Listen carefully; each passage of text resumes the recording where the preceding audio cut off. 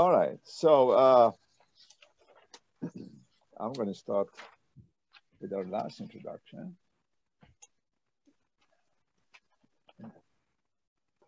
Okay. So, uh, well, we are back. Uh, our last uh, speaker is uh, Professor Sanjiv Das, uh, who we have known here at Isenberg for, for many, many years. Uh, when he was at Harvard, he came here and presented a couple of times at our conference. Uh, he is uh, William and Janice Terry Professor of Finance uh, and Data Science at Santa Clara University's Leavey School of Business and an Amazon Scholar at AWS. He previously held faculty appointments as professor at Harvard, as I mentioned, and UC Berkeley. He holds post degree uh, degrees from in finance from NYU and also uh, degrees from UC Berkeley and the Indian Institute of Management. Uh, and of course, we just found out that he and I started as undergraduate in accounting. Uh, he's a senior editor of Journal of Investment Management and associate editor of Management Science and other academic journal, and also is on the advisory board of the Journal of Financial Data Science. Uh, we just heard from its senior editor, Joe Simonian. Prior to working uh, as an academic, he worked in the derivatives business in Asia Pacific region as a vice president at Citibank his current research interests include portfolio theory, wealth management, machine learning, financial networks, derivative pricing, and modeling of default risk, systemic risk, and venture capital. Uh, we were just talking about it, but for uh, for the recording, I should mention that he has a terrific book, and he tells me he's got actually quite a few of them that are not on his website. Uh, but the one on uh, data science that he has that uses both R and, and Python is very helpful. It's both practical and covers all the algorithms and provides the codes uh, graciously. So I highly recommend that uh, if you are looking for a book and it doesn't cost anything. So today he's going to close our seminar uh, conference by talking about AI and fintech. Thank you so much, Sanjiv, for accepting our invitation. Please go ahead. Thanks, Hossein. Uh, very, very happy to be here, and and I, I have had a great time listening to the other talks, which were just fantastic. So you, you came up with a great program. Uh, I just have to say that I work at Amazon as an Amazon scholar and my opinions here are my own. And uh, so just the disclaimer. So today what I want to do is I want to sort of talk a little bit about what I've been doing in my research for the last two, three years and give some perspective on where I think uh, AI and machine learning are going to intersect with the academic work in finance. So hopefully uh, this will help uh, many of the students here on the, on the, on the, on the meeting as well. So I want to just sort of talk about three big points. One is uh, fintech is really a disintermediation process, uh, which is being enabled by tech, mostly machine learning and AI. Uh, second, I'll talk about what deep learning is doing and how uh, econometrics is related to deep learning. I think Joe started talking about that as well. And then the third thing I want to talk about is doing uh, financial research with machine learning at scale with types of with alternative types of data that uh, you might find very useful now to do as a PhD student because very little has been done in that area. Uh, just a quick definition of fintech. Fintech really applies to three areas. You can think of it as uh, have, interact, uh, active in raising capital, like crowdsourcing, for example, allocating investing capital, maybe robo-advising is an example, and then transferring capital, which the blockchain system we've, we've spoken about also does. And there are many, many other examples. But the key idea of fintech really is that it's a technology and it's it's basically eliminating or reducing the cost of the middleman in finance and i think cam alluded to this that there's uh, you know there's a huge cost uh, of people in the middle uh, uh Thomas Philippon at NYU did a really nice paper five years ago on this in disintermediation, the intermediation costs. And you can see roughly for the last 140 years, it's remained stable at about 2% uh, of the face value of financial transactions. And that's a pretty big chunk of money. And we know that you go to a financial advisor, you pay uh, one to 2%, a robo advisor trying to uh, you know, come in and offer that at 25 basis points. Uh, this is just a quick landscape of what's out there in the fintech world. And uh, one of the things I want to point out here is that fintech is not just startups. Okay, fintech uh, using ML and AI is happening at the bigger companies in much, much larger quantity uh, than it's happening in the startup space as well. The only thing is that there's about 8,000 different fintech startups now in the US, and that's a very big number. So, so they are going to have an impact uh, over time. I also try to think of fintech and the relationship to AI ML as a more recent phenomenon than fintech itself. And if you look at the, the total value of investments into fintech companies um, until say, you know, June of this year, you can see there was sort of a, a low phase in the beginning. And then there was a phase where, you know, funding went up and then sort of dropped off. And part of this drop off here was really because uh, the big banks uh, started buying out these fintechs as a competitive step. And what was really happening in this phase was a lot of process uh, automation that was disintermediating the space. So I try to, I, I think more of this as being the blue collar, the removal of the blue collar activity in, in, in finance. And now we are seeing a new phase where we are seeing AI and ML used for much higher order. The higher order bits are being sort of automated. Uh, for example, you know, automated lending and things of that sort using uh, judgment with much larger quantities of data than we did for simple e-loan type lending. The three big game changers, you should all know this, is a lot of mathematical innovations from the 60s until now in different types of architectures for deep neural nets. Uh, LSTMs were the rage. They've fallen off because now we've got this new uh, uh, you know, technology called the transformer. Uh, I'll be talking about that later. And then a lot of big data to fuel these models.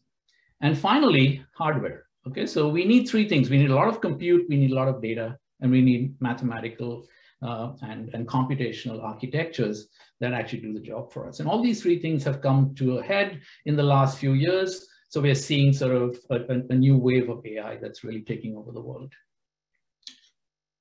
Now in finance, fintech has sort of permeated. I'm going to give a few uh, sets of examples, but the key point I want to mention here is that what you'll notice of fintech right now is fintech is using techniques like AI ML because there's sort of things that are getting automated that econometrics couldn't do. Okay, so for example, fraud prevention is using very highly nonlinear models that linear models in econometrics actually can't do effectively enough. Uh, people like Bridgewater, for example, are recording keystrokes and trying to sort of you know train machines to do what traders do by recording the screen and, and the keystrokes of the traders. Uh, Goldman Sachs uh, has sort of replaced a large number of traders with automated machines.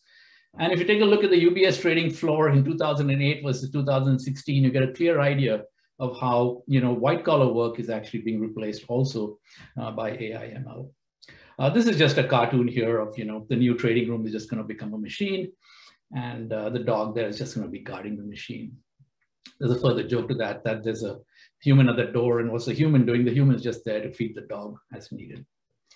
Uh, companies like JP Morgan have made huge investments uh, they have actually three different groups that that uh, that do AI and machine learning, and you can see they cover the gamut of predictive work to financial crime, uh, to you know secure data, uh, client experience. So it's covering sort of the gamut of activities uh, inside a large a large bank, and uh, there are many many examples if you go to their research page and look at the great work they're doing.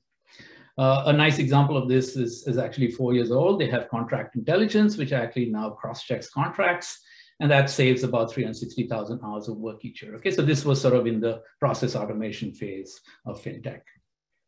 Conversational AI is another great example. Plenty of customer service stuff, but also even uh, negotiation uh, things happen through you know companies like Topbots, Narrative Science, and so on. A Lemonade uses bots to give you uh, customized experiences, uh, you know, to, to get you the right insurance contract. A Lemonade is, is a fast-growing insurance company. And uh, we are even seeing robotics in finance. So in Japan, Mizuho Financial Group has a robot called Pepper, and Pepper uses image recognition, face recognition uh, tools uh, to roam around the bank lobby. And what it does is it, it, uh, it detects the most stressed out customer in the lobby and then approaches them and engages them in a conversation to give them customer service. Uh, similarly, that's something happening with, with RBS as well. Okay. So once again, if you just you know look back at all the all the use cases I just showed you, uh, the single defining feature is that these are not econometrics based. Okay, these are actually based on on different types of data, and they're based on machine learning algorithms that econometrics uh, wouldn't really be able to help with. Okay, so that was just sort of a quick warm up. What we'll uh, what I'll do now is sort of do a quick traversal into the area of deep learning, talk a little bit about research in here, uh, two points to note. One is that I call this the non-linearity revolution. Most of our econometrics models tend to be linear or sort of exponential affine type models. And those are also, for all practical purposes, linear models. Uh, what we are seeing now is a nonlinearity in the data and mapping that uh, data to actually outcomes uh, through, through neural nets is, is proving to be pretty effective. And the second thing is uh, deep learning is enabling us to actuate data that's not tabular. Okay, that's data that comes in forms like text and voice and, and, and images. And so doing research in those areas uh, in finance has actually become pretty hard. Uh, so these were the three people who stuck out through the AI winter. Uh, Geoff Hinton is at, uh, the, you know, the head of Google AI. Yann LeCun at NYU is also the head of, of Facebook research. Uh, and, and Yoshua Bengio. Uh, the three of them actually built what I would call today's modern deep learning paradigms. And then, of course, they spawned you know, hundreds of students that are now out there building these things at, uh, at companies. Uh, so let's let's let's talk about this in in a simple canonical example, just to show you how you could take ideas from deep learning and actually port them over to finance quite easily. All right, so, so image recognition, and in this case, the simple, what I call the hello world example of, of deep learning is, is digit recognition. Okay, so if you take any of the digits, let's take the three over here, it's sitting inside a 28 by 28 pixel frame. So 28 times 28 is 784 numbers. And each row of this data frame here would be 28 numbers where zero is white in the pixel and 256 would be complete filled, filling the pixel with ink. And so you get numbers between 0 and 256 describing every pixel in the 784 pixel frame. And deep learning has been extremely effective at training models to figure out from these 784 numbers across a large data set uh, how to recognize digits. This is sort of used in ATM machines. And uh, it's, it's absolutely impossible, uh, possible to implement this literally in five lines of code today in Jupyter and Python and, and train models uh, in about a minute or two, okay, to do this kind of a task. So the question then came up, what if we started thinking about markets as images and try to predict whether the S&P 500 will go up or down the next day by looking at the previous 30 days as an image and saying, can I use the previous 30 days data uh, as an image and recognize whether that image is predictive of an up or down movement of the S&P 500. So the way you did that, so we wrote a paper on this, uh, really to see whether markets could really be efficient or not. And I'll give you the quick idea for it and then move on. So if I have a data set, which goes, let's say from 1960 to 2016, so many, many years of data, I have every stock that went in and out of the S&P index, 500 index, over that year. It turns out there are 5370 stocks that existed in the S&P over that span of time. And I also have the S&P index in a column here. Now, this is very easy. You go to CRSP CompuStat, just dump this data. Simple thing to do. Convert that data into returns. So the blue here is returns, daily returns. And the S&P, we just either put one and zero, depending on whether it went up or down uh, on the next day. Okay. So I've got this data set. And what I want to do is I want to take 30 days of history. So let's say I'm trying to predict this day. I go back 30 days in, in, in the table. And I say I have 500 stocks for those 30 days. So 530 is 15,000 numbers. That's literally an image of 15,000 pixels. And if I can construct one of these for every day, so I do it for 55 years and I have a massive data set of, of about 14,000 images of the market. And then I want to just train a machine learning algorithm to take those images and predict uh, whether the next day the S&P will go up or down. It's a very simple exercise. You can do this uh, for it for a cost project, for example.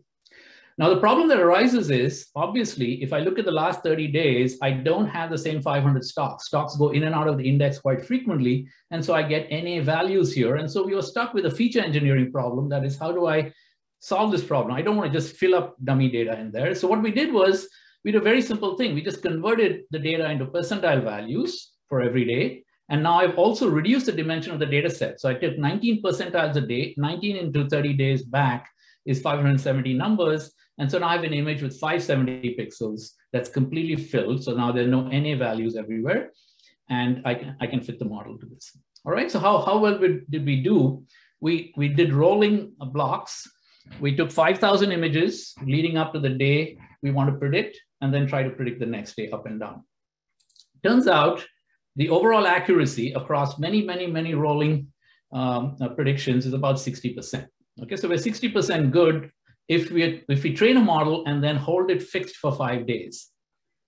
If we hold it fixed for 10 days, the accuracy starts going down because it's not now current. And then quickly it goes down to about 55%. Now you might think 60% is good because you know you you have in mind a 50-50 coin toss, but that's not true because really what you want to do is ask the question, how many times uh, does the S&P 500 go up versus down, you know, daily? So I asked this to a group of mutual fund managers and the consensus they came up with was two thirds of the days the market goes up and one third of the days the market goes down. And uh, the answer actually, that's wrong.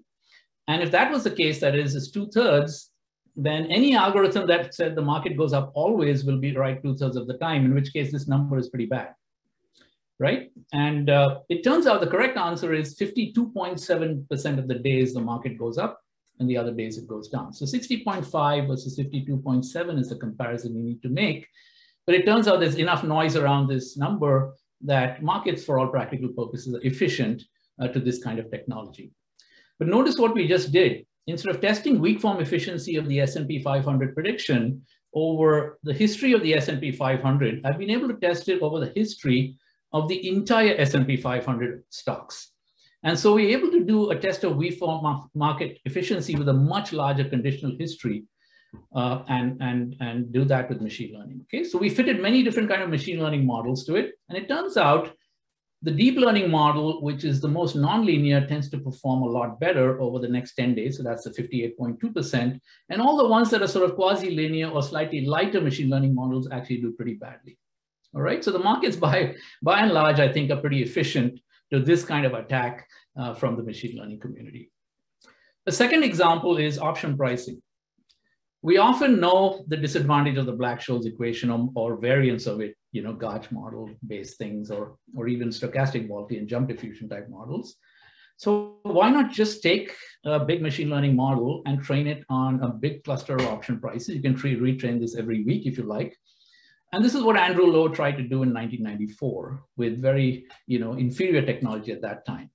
Now we are able to do this uh, in, in five minutes, you know, using machine learning tools that we have. So I took 300,000 option prices. I took the inputs to the option pricing, uh, to those option prices, and I trained a model with literally very few lines of code. And the only financial knowledge I used to do this was the property of option prices that they are homogeneous of degree one in the stock price and the strike price. And that allowed me to normalize the call prices by the strike price so that across multiple companies, I have a normalized data frame that allows me to actually train the data set a little bit better. That's all the lines of code I needed in TensorFlow. I ran training on it. And then what you want to do is you want to take the actual price and look at the predicted price in sample first. You can see my mean squared error is extremely small. So the model in a minute has learned how option prices are priced in the market. And then you do it out of sample as well, and you get pretty much the same accuracy. This is a really perfect use case simply because out of, there's no overfitting in sample. And the simple reason for it is people aren't changing the models they use to price options in the market every day. And so if you train it today, it's going to probably reflect the way option prices are going to appear the next day as well. So you know, do you tell people take a derivatives class and learn, a whole bunch of stochastic calculus, or you send them off to do machine learning because they can now actually get uh, much richer option pricing models than, than they get with, with stochastic. You do random forest, Joe mentioned random forest as well, pretty much the same result. And you know, you want to see the actual price and the predicted price sitting on the 45 degree line. Okay, third example. Uh, this is a paper that we just published, in fact, came out a couple of months back.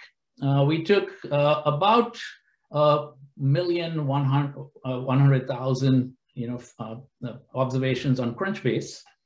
Uh, you you can buy a subscription, and and downloaded that, and tried to see whether we could actually do you know startup success prediction from everything on Crunchbase.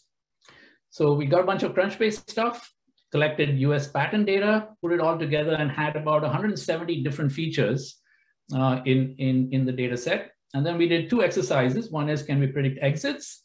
And can we predict follow-on funding? Now, these are two of the standard metrics that we use in venture capital. Uh, just keeping it very short, uh, you can see that the accuracies are about 89% for ensemble models. Okay, so we do multi-layer perceptrons, random forest XGBoost. We ensemble the whole thing as well, which is sort of a wisdom of the crowds approach. And we get about 89% accuracy, uh, you know, in predicting exit models. And then for, you can see for the IPO exit or the acquired exit or the failed outcome. So there are three different types of outcomes. You can see the confusion matrix here with a very heavy diagonal. Uh, the precision recall is pretty high for almost all these things. Okay.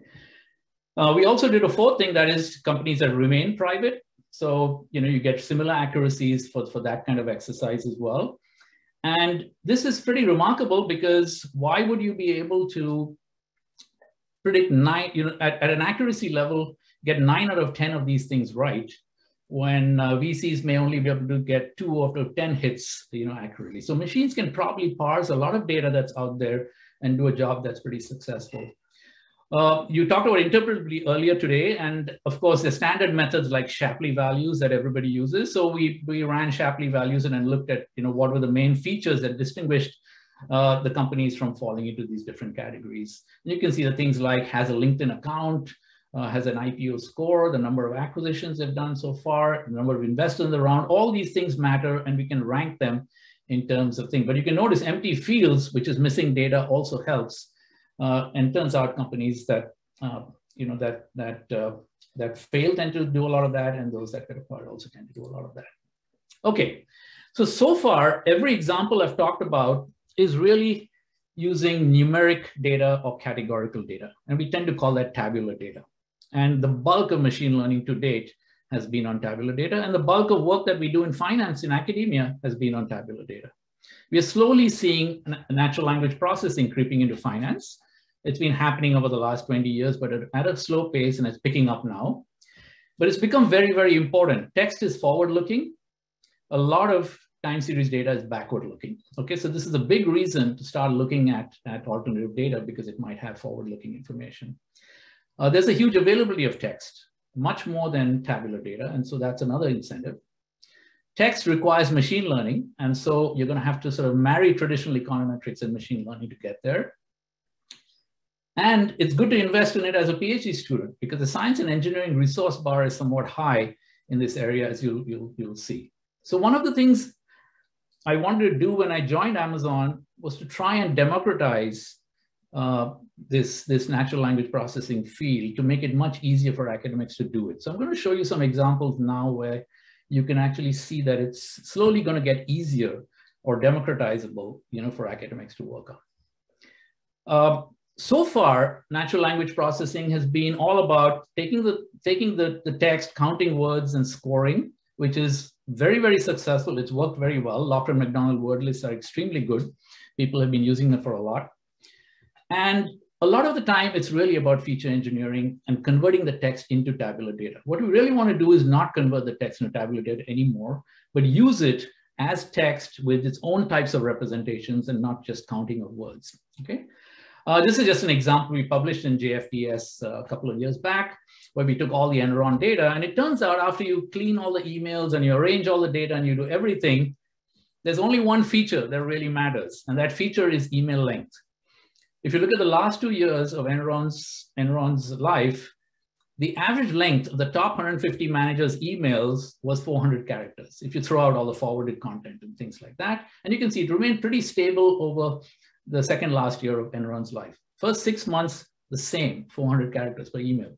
And then dramatically, six months before Enron's demise, management started emailing less and you got 200 characters per email. It literally dropped, uh, you know, precipitously. And in all the regressions and stuff in the paper, pretty much this is the feature that comes out to be the most significant. Now, this is really, really thin.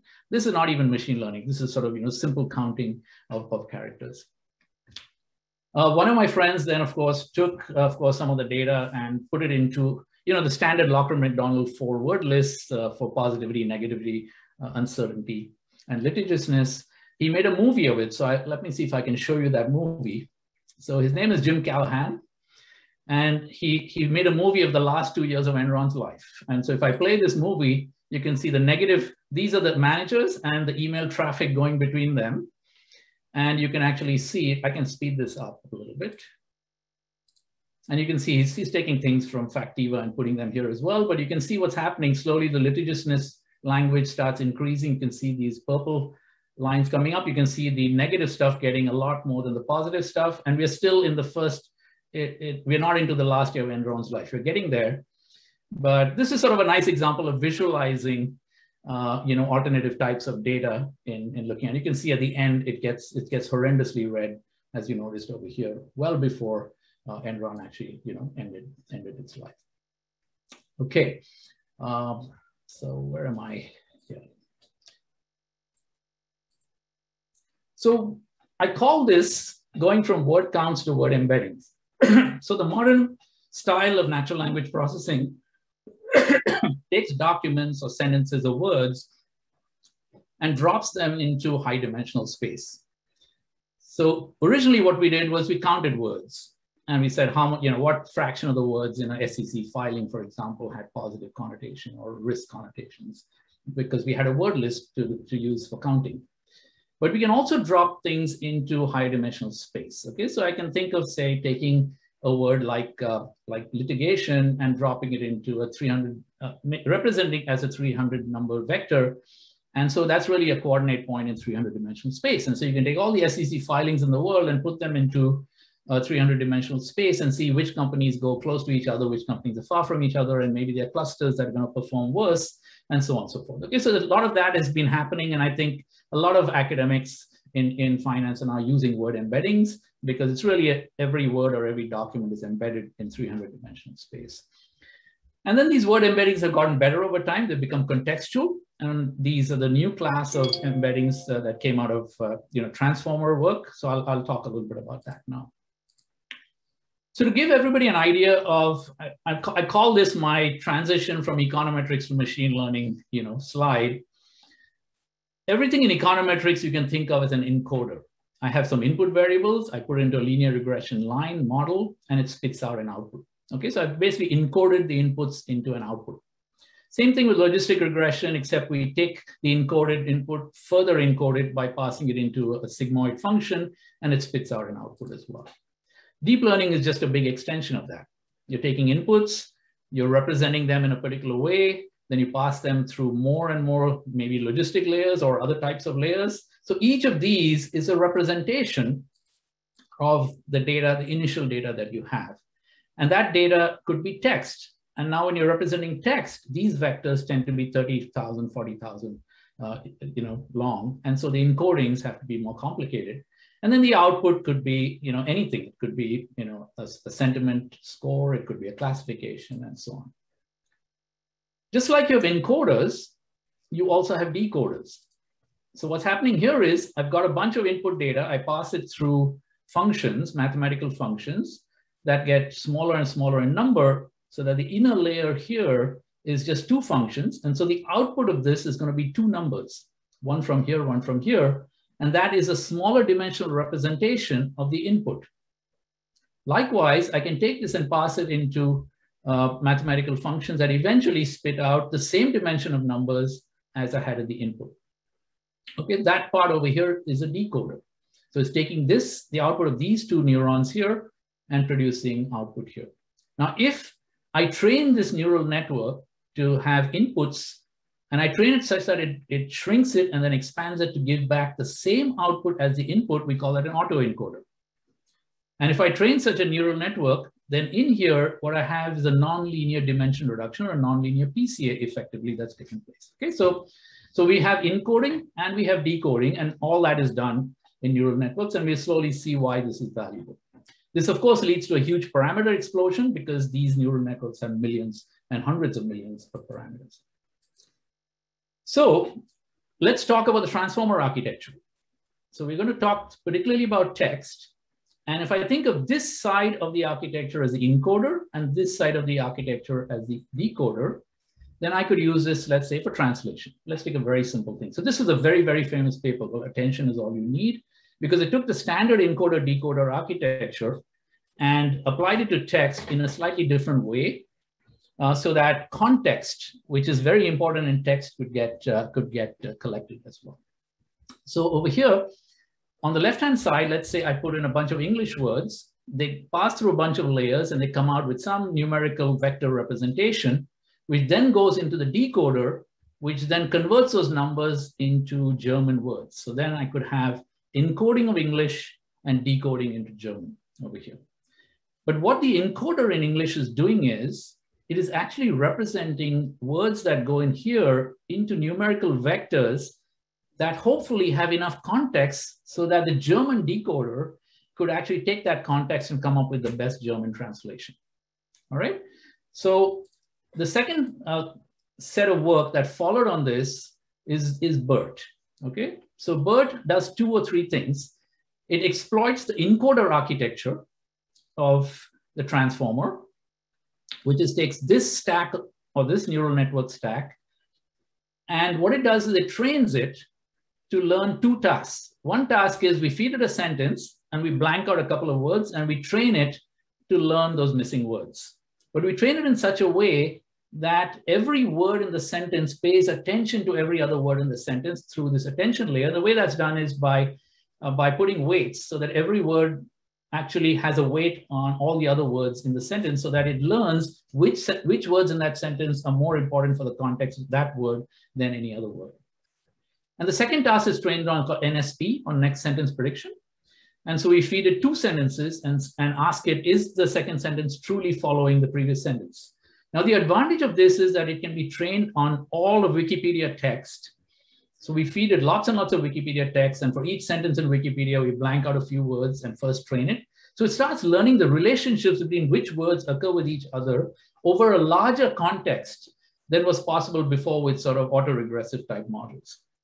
And then the sentence prediction task also allows it to learn context across sentences, which is very valuable. Okay. Now you could take that because this trained model actually, if you pass a, a document or a se sentence through here, it'll spit out a numerical representation here that can then be passed into further neural net layers for a specific task, let's say to classify a company as having positive or negative sentiment. We call that transfer learning.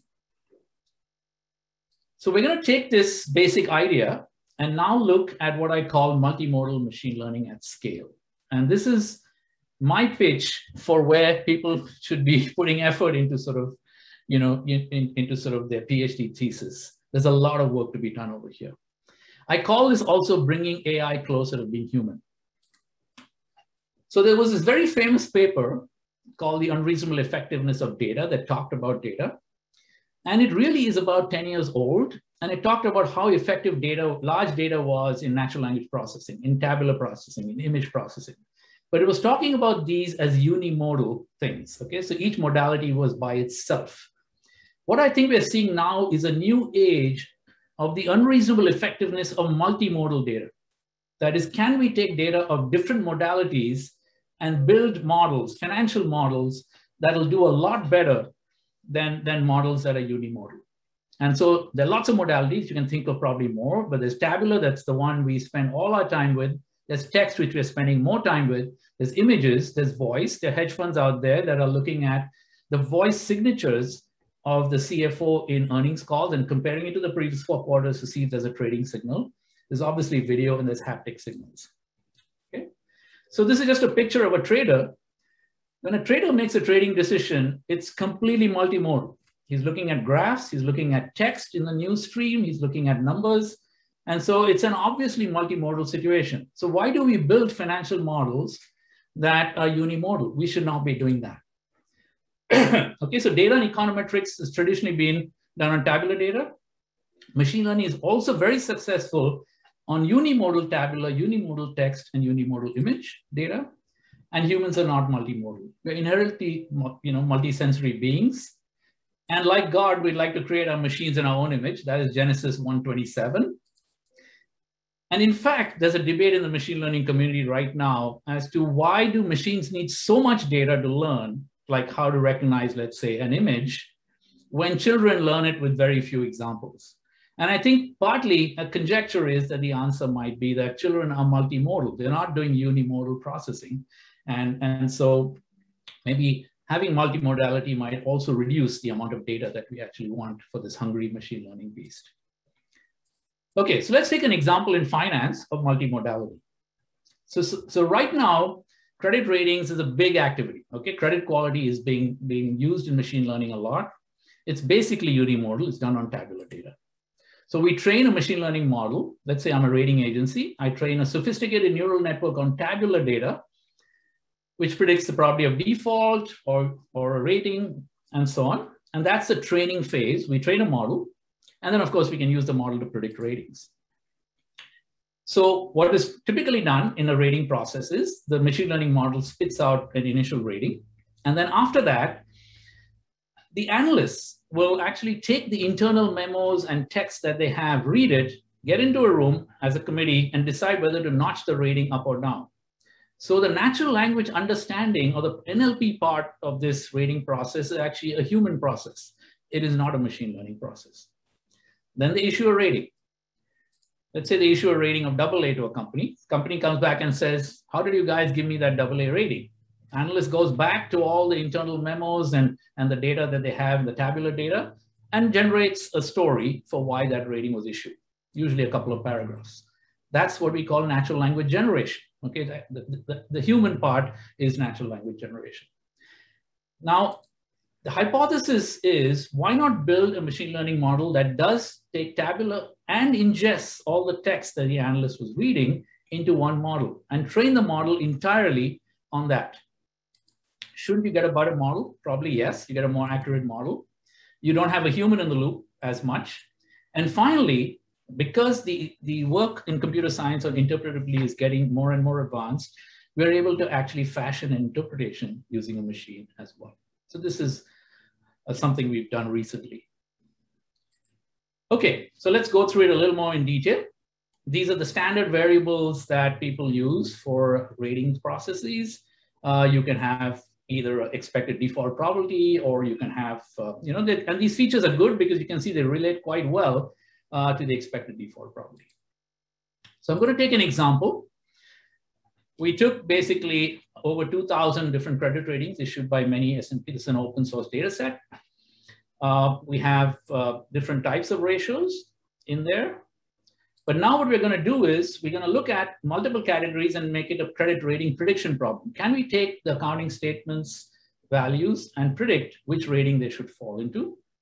So this is sort of just the frequency count of the different types of ratings in that data set. But we're going to do a couple more things. We're going to add the industry code because we know now, Viral has done a lot of work on this, that industry is, is a good feature to have in a credit rating prediction data set. And we're going to add in the SEC filings, which has not been done before. Okay. And we're going to call that data set, not just the numerical data set, but add a column of SEC filings to it. We're going to call that tab text because it's got tabular data and textual data. We're not going to stop there. We're going to take the text column, the SEC filings. We're going to take the management discussion section. We're going to score it for positivity, negativity, litigiousness, polarity, fraud, readability, and all these different things. Okay, so we built a whole bunch of scoring tools. These are not Loughran McDonald at all, completely different scoring mechanisms. And we call that enhanced tab text. And then we fitted a machine learning model to this entire data set, which has massive text in one column, bunch of numerical scores in other columns, and wanted to see how it does that. Now to do that, you need machine, uh, you know, heavy machine uh, technology.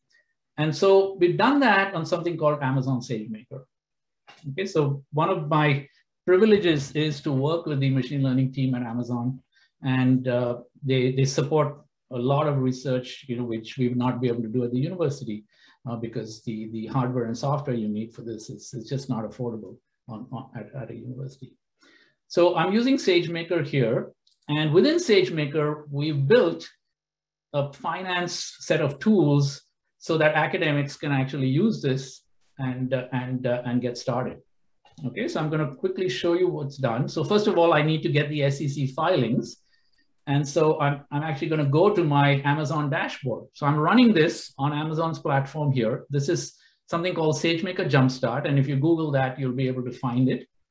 And if you go into Jumpstart, you'll get a screen here where we have lots and lots of different models built. And I'm going to actually go into corporate rating prediction at some point. But if I click on this card here and open it up, it basically opens up a Jupyter notebook. There's a bunch of things here to set up, bring up your sort of environment, which you just run without thinking. And then you get an API here. So I've already run this before because it, it's a little computationally heavy and I have this ready to show you. Here's my API. What I've done is I've basically put in four tickers, for example, Amazon, Google. 27904 is the SEC CIK code for Delta Airlines and Facebook. I just randomly picked four. I said I want the 10K, uh, 10Q filings from uh, for the last uh, for two years 2019 january to 2020 december. I just have to input this in here. I can actually input a list of these into another variable and just point it to that variable here. So if i have you know 200 of these i don't have to do a big thing over here. But that's basically my single api call. And when i run this api all, all i'll this is just a machine so i'm actually running it on a compute intensive machine uh, and I, I, sort of say how much, how many gigabytes I want to allot to this. It's all happening in the cloud. I kick off this, this block of code. It, it runs off a process, just the way you would do with you know, getting data from WRDS or anywhere else. And once it's done, it gives me back a data set. And the data set is here. So it's pulled out. Uh, there, there are 32 of these. It starts from index zero, the, the SEC filings, and the management discussion section on the side. So I can join this now with my tabular data and go ahead and do, and do machine learning. So let's go back here to the, uh, oh, no, this is not what I want.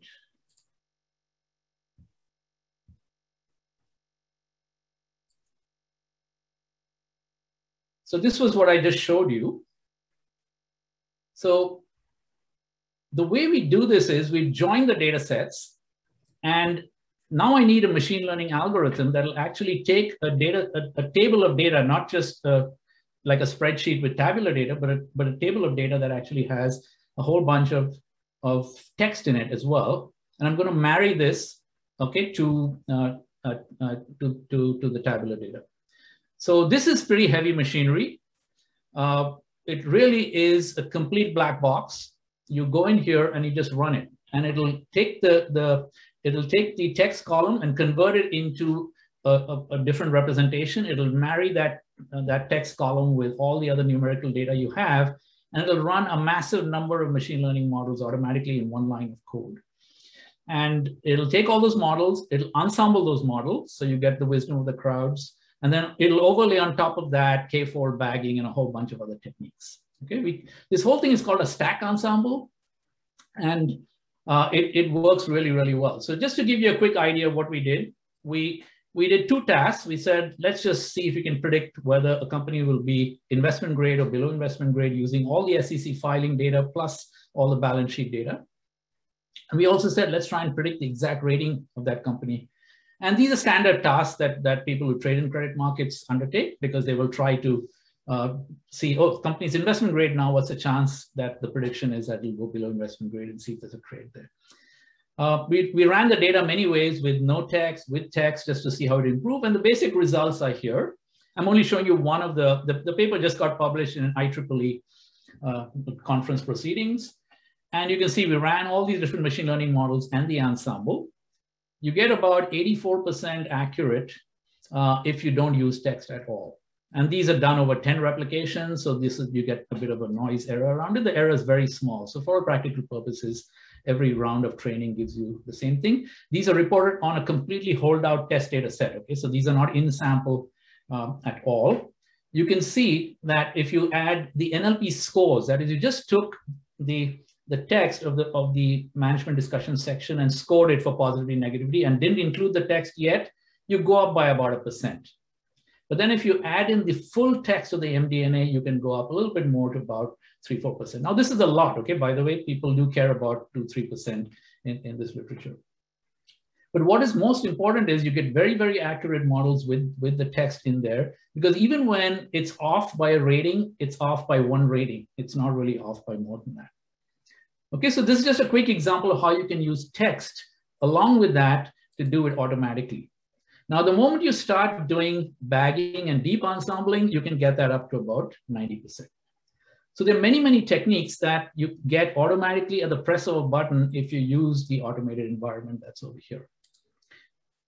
Let's take a, uh, let's take a second example. Uh, in fact, this was fun because I showed it to Ed Altman and he really liked it. But what we did was we said, let's take Altman's z-score model. And many of you might have studied it in, in finance courses, but it's probably the most widely used credit scoring model for corporate scoring, uh, simply because it can be applied to private companies, small and medium enterprises, unlike uh, the Moody's, uh, you know, KMV type models that require, you know, publicly traded companies only. Literally, Altman's model has eight financial variables that you can pick off from anywhere, CompuStat, for example, and you convert them into five ratios. So these are, this is the this is what I call the five famous ratios of Altman. And then Altman puts them into a z-score model like this. And you know, the higher z-scores are good companies, the lower z-scores are bad companies. What we're going to do is take these five variables and add SEC text to it. So the way this works in Jumpstart is you basically have a data set, which we I just showed you how to download of the SEC filings. You, you, you join that data set with Altman's five ratios, which you will have collected from CompuStat. This gives you a tap text data set. I'm just showing you the top of it. So there are five numerical ratios here. You have a rating, which is the actual rating of the company, the label. And then you have the industry code, which is a categorical variable. And you have this. What I want to do is just throw this thing into, into machine learning and say, fit it. So think of this as, hey, I'm running logistic regression on numerical data. What if I could just throw in a bunch of text columns and don't change anything I do and still be able to fit logistic regressions? Okay, so that's sort of the, the mental model you want to have. So we took that data frame, we also added all the numerical scores because we have an API that actually does that. And so if I go back here and show you this, uh, this, uh, this particular tool, further down in the tool, you get uh, another API that allows you to score, summarize the text and also score the text. So I can quickly go down here and show you the scoring. So the single API here, you just point it to the, your, your CSV file and what it will do is it'll automatically add all the scores. So if your CSV file started with these columns, and you said score this column, it'll literally add to the data set all the scores. You just let it run and it, and it takes care of that as well. So that was done. Now we have a data frame that contains a very large amount of text in here and a bunch of numerical values. In fact, if you go up here, you can see that when you download these SEC filings using our tool, each filing is now sitting in here. And if I look at the text, we have completely clean text. Okay, so there was a lot of sort of engineering work here to make this clean so that you have clean text that you can actually use for further work. But instead of doing this yourself and spending six months, uh, you now have a tool that will allow you to download you know, the SEC filings and, and give it back to you as a data set uh, in, in, in no time at all. So if I drop the text column and I fit the ratings to these different values here, I get, I get a model in one line of code, okay? So it literally you say predict and dot fit and point it to the training data. And then uh, it'll also evaluate on the test data set that you've created, the separate, completely hold out separate. So we take the full data, data set and do 80-20 split, you get 85% accuracy. And then if you rerun the thing with text, it goes up to about 93%. So one of the potentials here is that by taking SEC text, which is of good quality because it's you know, regulated and so on, and adding it to the models we currently have in finance, we should be able to build much better models and do better research. Now, the same Altman model, in fact, you can get over here. So if you go into um, you know, this, this card here and click on it and launch it, you will end up with a card that looks like this. And then you can actually train the notebook to do that. So this is actually a notebook that will train Altman's model. You can see I've got the same features over here. It trains the model for you. You literally make a small split of the data into train and test data sets. And then you just run, run this code block. It goes off and runs all those different models for you, comes back and gives you back uh, the best model. But the other advantage of this is you can actually deploy it uh, to an endpoint. And that's if you want to implement the model for real, it can sit at an endpoint and then you can call the endpoint to make further predictions uh, as well. Let's go back here. So now we get to transformers. And I'll try and wrap it up, Hossein. I know I'm, I'm running a little bit late. So transformers are these deep neural networks I just mentioned. And what we did was we passed a lot of data into the transformer to train it to know uh, natural language. And the standard BERT base model is about 110 million parameters. And this has been trained on Wikipedia text. So what it does, it learns the context of words and the relationship of words inside Wikipedia. And so it can actually make better predictions. The, the way it makes better predictions is that it produces vector representations of input text that then has better relationships to other vector representations. So for example, if I was just doing sentiment scoring of news articles on finance, I would be able to get all the good sentiment articles in one area of the space and the other ones in the other area of the space. So the representations are then run. So here's another example. Uh, example. We just published this paper in JFDS. Uh, we actually did train a model on all of this Wikipedia text plus 10 years of SEC filings as well. Okay, so now it's not only learn, it's like sending a kid to school, he learns a lot about language, and then you send them to undergrad and do undergrad in finance, and they learn more about financial language now, so they get even better at interpreting financial language. So, so we sort of trained a model on all that text. And then we did a simple example where we have text and we have the, the score, so we have a mixed tabular, and we're trying to predict whether it's neutral, negative, or positive. This is a very well-known data set that everybody tested on. But to train this thing, we needed heavy computation. So we had to actually take uh, sort of a, a platform which actually runs a training exercise on Wikipedia and SEC text. We had to run about 250,000 epochs of training on machines. Each of these machines has eight GPUs on it. And so the compute required is extremely intensive to train these large machines. And you've probably all heard of things like GPT-3 and all that are even more uh, bigger than this. So this kind of runs for a week. It tends to be expensive, but it gives you a model eventually that you can use for machine learning that it'll do slightly better than just base model. So if you just use standard machine learning on you know scores like Loughran McDonald words, you'll get about 86%. If you use these BERT models, the transformer models that are context rich, you automatically go from 86 to about 92%. Then if you use a BERT type model that has been further trained on SEC filing uh, as well, you can go up to about 95, 96%.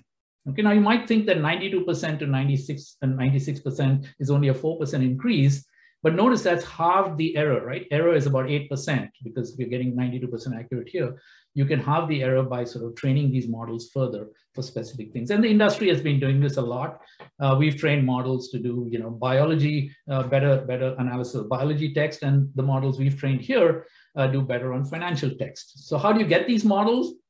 We sort of put this out uh, in fact, this got released yesterday, so it's kind of new. And, uh, and so you can actually go to uh, the same thing. SageMaker is the, the AWS machine learning platform. Uh, we put this RoBERTa SEC model out there. You literally open it and deploy it, and then it's sitting there. And the moment you throw text at it, it gives you back a vector representation that you can use in models. Okay, so you open a notebook so as an example to do it, and I'll quickly show you that so you can see how it works. So if I go to Jumpstart here, I click on any of these, these models. So let me just pick one of them. I'll click on this. Notice it says deploy. If I deploy, it'll actually put an endpoint here. I've already done that because that it takes some time to spin up the endpoint. So the endpoint is here. If I click on that, it gives me a notebook. And this is my notebook. I can basically run this notebook and it'll actually show me how to fit models using the vector representations from that specially trained finance model. So I actually ran it also before. So you can see these are just startups here.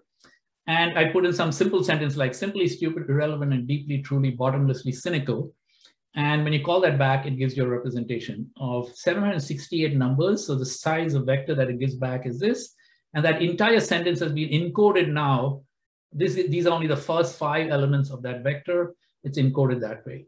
Okay, so one of the, the standard examples I, I, I'll show you very quickly is there's this famous tweets data set where it, we're trying to detect which tweets are about a disaster that's happening and which tweets are not about a disaster that's happening. So if you download that data set, uh, financial people like this data set, and the reason they, they like it is because they want to build a system that keeps reading the tweet stream. And if it's about a disaster, then they know they need to take some urgent trading action.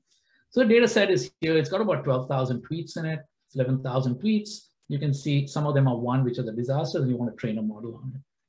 And so all you need is literally this block of code. You take, you, you take an 80-20 training test split. You you call this function doc to pooled embedding, which then calls that endpoint which you, which you generated when you clicked on that when you clicked on that application, and it gives you back. We're just printing out you know progress of this thing. It takes some time to process all that text, and it basically gives you back a, a, a vector of 768 size representation for each and every tweet. And then you can use those tweets in this block of code to train a, a neural network. So we trained that neural network. You can see I did only 10 rounds of training, literally took one or two seconds to do. And I've gotten up to about 88% accuracy, okay, in being able to predict whether it's. So it's literally one or two clicks and you get the advantage of this model that's actually been trained on a massive amount of, of text. Now, these are not stopping, okay? So right now, these transformer models are being trained only on text, for example, or only on images to give you vector representations of those things. But only in June this year, the Beijing Academy of, of, of AI just trained the biggest ever model, and it's completely multimodal. It's jointly trained on English text, Chinese text, and images. And this is getting to the point where we don't have transformer encoder representations only of one modality. We have a joint representation. And so when you see a, a product ad, you see text, words, and prices. And the human being processes all those three things together. And so this kind of a encoder that will give you a representation for that entire product ad uh, is going to be sort of completely multimodal and multilingual. Okay, it's called WuDao 2. It's about 10 times bigger than GPT-3 that came out from OpenAI. Uh, GPT-2 and GPT-3 are the ones that are used to complete your sentences in Gmail, so you're, you're familiar with that as well. But this thing is, in, is, is incredibly huge and has become, uh, you know, become sort of the holy grail, the new thing that's happening right now. Okay, so quick summary. Uh, machine learning begins with a representation of data in any mode as a vector or tensor that you have. Multimodal ML brings machines closer to the way humans interpret multisensory data, and we, we want to do research that way. Common use cases of multimodal ML integrate tabular and text data. I've shown you some examples that, that have been published. I've shown you some technology that you can, you can probably use if you like. Uh, transformers have proven better than any other methods because they produce contextual representations. Okay, so before we had counts of words and things of that sort, but they didn't have context. And these transformer models uh, do very, very well at, at keeping context. The state of the art is multimodal transformers like WuDao, and they require massive amounts of distributed computation to scale. And so, you know, I think uh, using cloud, you know, platforms has been very, very successful for my kind of work as well. Okay, so this is just a reference to the paper that was that was actually used to to create the WuDao. Hmm. That's questions. And if you're interested in the SageMaker stuff, uh, there is a whole bunch of links, but what I would suggest is you can just go directly to uh, to SageMaker in Amazon, and, and you know if you have an account, just open it up and use it. None of this is expensive to use, honestly, but the tools are here. So in Jumpstart, we released yesterday, in fact, just released all this stuff so that you know we could do research with it. So you can you can get the corporate credit rating prediction model here and then adapt it. You can get these uh, text representation models here. You can get uh, the SEC filing downloader over here. And then there are two examples here. Uh, there's a there's there's a example we did where we tried to take the paycheck protection program and and uh, take SEC filings and see whether the text of people who returned the money they took in the paycheck protection program was different from the reporting SEC text of companies that did that. Uh, this, in fact, was supported by Pravala, who many of you know. He's got a paper on this, and we took the, the tickers from his paper and basically did a machine learning version of that same paper in this application. And that, if you, if you go in here, you can kind of take run that and take a look at it as well. And then there's a, an example here of being multi-category classification for SEC filings. So you can use it to download SEC filings. The example here just tries to tell you which industry the company is in and try to predict that. But you could put any other label you want. You could you could put in, you know, like good companies versus bad companies and, and reuse the code over here. So these are sort of templates for you to do research with that you can take and modify the code and, and finish your research paper in one week instead of six months. Mm-hmm. All right, so that's sort of the, the hopefully it's, it's what I've been excited about over the last couple of years and, and you know, been lucky to have the resource to be able to do this. Well, well, thank you, thank you, uh, Sanjiv. This was uh, truly fascinating. Uh, so many questions uh, I have, so I'm, I'm just going to jump into you know a, a couple of them. Uh, th that Crunchbase uh, paper that you mentioned that kind of predicted. Yes.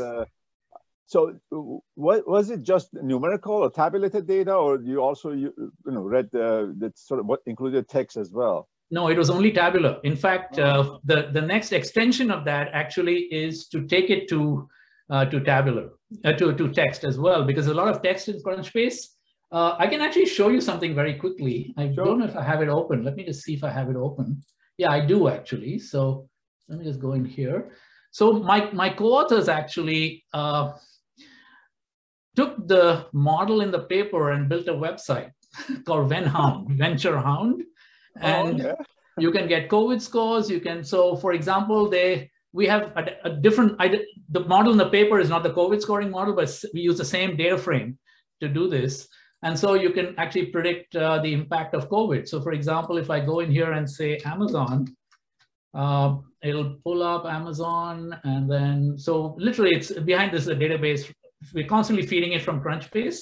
Mm -hmm. And you go in here, you can see Amazon is positively affected by by the COVID epidemic. Or if you just went in here and did Amazon again and just looked at main Amazon, not just you can see they're positively affected by COVID. Now, the obvious one that's badly affected by COVID would be, I guess, United Airlines would be a good candidate for, um, so you go in here, gives you a negative for, for United Airlines. So, so yeah, so there is, so this is all tabular, okay? But we have a lot of features because Crunchbase has many, many things in it.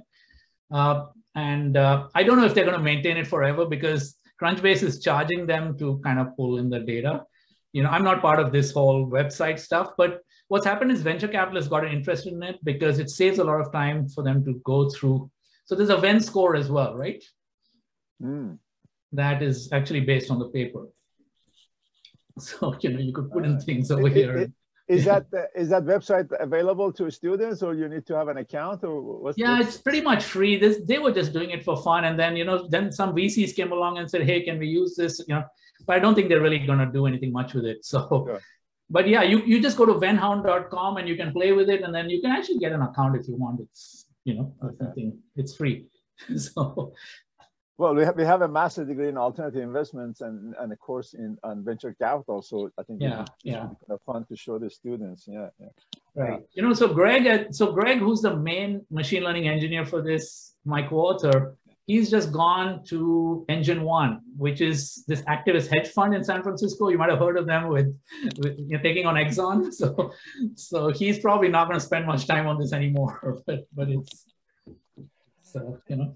Yeah, no, no I read somewhere uh, that uh, firms, uh, being aware that the text of their data and so on is being used to analyze, are basically trying to manipulate the text the way they use it, the, the way they write their whatever right. reports and so on. Right. And that's right. probably more difficult to do with the tabulated data. I mean, is that really true? And is it, is it really possible to fool the, the, the, the computer, for lack of a better word, uh, in your textual data, or, or is that's too much to ask? No. So the thing is that, uh, uh, yeah, let, let, me, let me just be candid about this. Yeah. If, if the reporting is not regulated, it doesn't matter what modality it's in. You could make up any numbers you like, you know, even in tabular data, right? So so to the extent that text in SEC filings is it is regulated, you can't be lying in those SEC filings. Uh, you would hope there is a high level of veracity in that text. Now, now, obviously, text allows you lots of degrees of freedom to play around with how you write the same thing. So if you think there's somebody who wrote a scoring algorithm, like I showed you here, take Loughran McDonald and score the text, uh, you could go and look at Loughran McDonald's lists and then you know change the words you use and, and try and get a higher score if you think some hedge funds are trading on, on, on it and so on. You know, so yes, of course, there are ways to game any kind of algorithm, but if you knew what somebody was doing, you could do that with tabular data to some extent as well, you know. So, but yes, I think I think the degrees of freedom to do a little bit more manipulation is there. There's this paper called How to Talk When a Machine is Listening. I think Brian Kelly and some other folks wrote that paper which is sort of alluding to that. The fact is that, you know, when you take large amount of contextual text, uh, it's not that easy. These algorithms pick up on it pretty well. And that's why spam filters work really well because it's a Bayesian algorithm. It's constantly updating. And so as long as you have labels that are being attached to these so that you can train, so it's very important that you click on a spam when you see a spam because you're increasing the data set.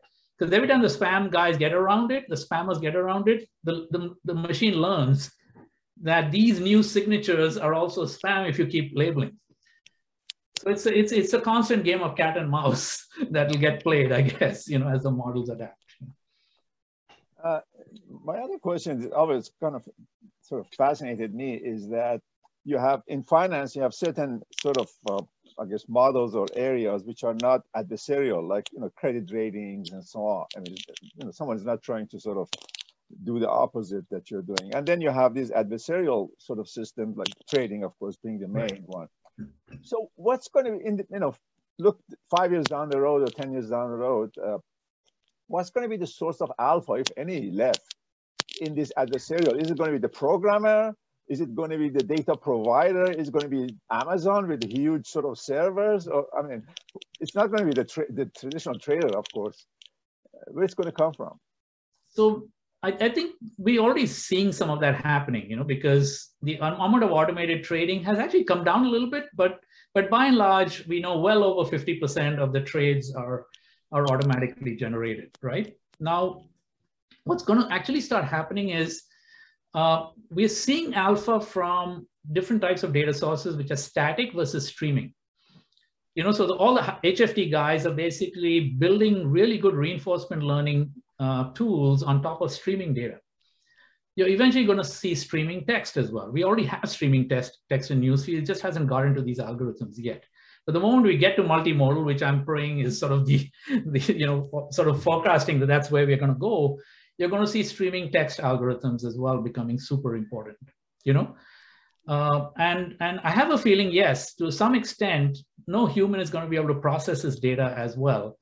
And, and uh, the source of alpha will switch from being human generated to, to machine generated. I don't think, you know, this, this, you can see some of that writing on the wall already.